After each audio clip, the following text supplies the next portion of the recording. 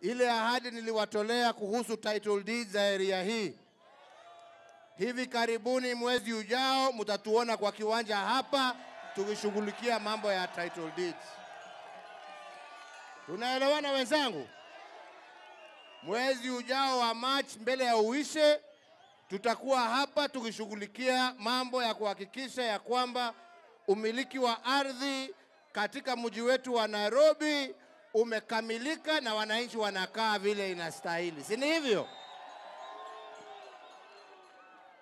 Kwa hivyo wenzangu, leo hii mimi sijakuja mambo mengi, nimekuja miradi ya maendeleo, si ndio?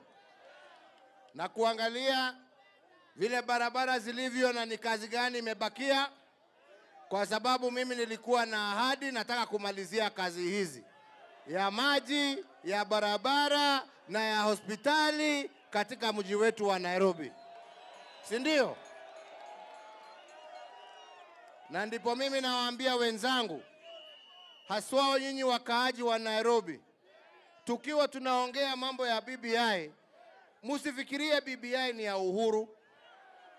Mimi hakuna kitu najitafutia.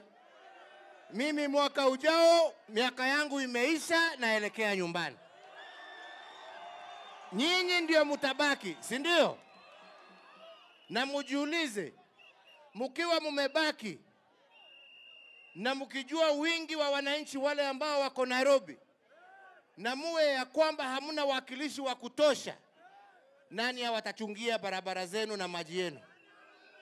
Mkiwa pesa ya kitaifa haitakuwa inagawa sawa kulingana na wingi wa watu, watoto wenu ni siku gani wataweza kupata basari ya kuhakikishia ya kwamba wameenda mpaka university? Hiyo ni maswali kila Mkenya lazima ajiulize. Tunaelewana wenzangu? Kwa sababu hiyo ndio ile haki, na kama kuna kitu naweza kuachia wananchi wa Kenya ni ya kwamba kila Mkenya pahali popote alipo, asipojiuliza kabila yake, rangi yake, atakuwa anapata haki yake kulingana na yeye kuwa mwananchi wa Jamhuri ya Kenya.